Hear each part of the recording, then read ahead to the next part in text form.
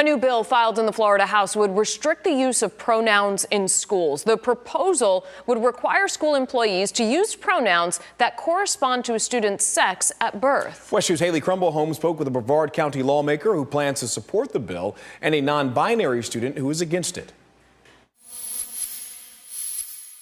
Representative Randy Fine is in support of HB 1223. Absolutely. In Florida, we follow science and we stand up for parental rights, and this bill does both. He broke down the two primary things he says the bill does. The first bill says is you are what you are, and we're going to, Florida's not going to be in this stupid pick your own pronouns fantasy that the woke left wants to waste our time with.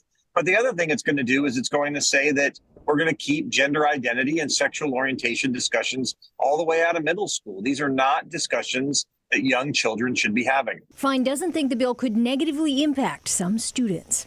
No, I mean, every student um, has their pronouns. If you're a boy, you're a he. If you're a girl, you're a she. I don't think it will affect anyone negatively.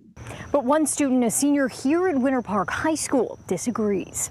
Representative Fine is not in schools, you know, and he's not seeing what I'm seeing on a day-to-day basis. Will Larkins is non-binary and uses they-them pronouns. They're concerned with pushing back discussion of gender and sexuality even further to eighth grade.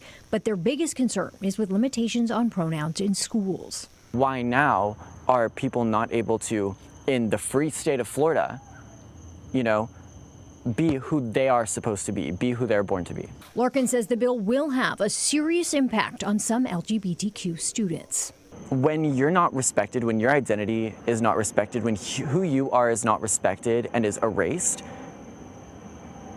I, I, I, can't even I can't even put into words how detrimental this is going to be for students. This is going to cause LGBTQ suicide rates, uh, trans suicide rates to skyrocket in Florida.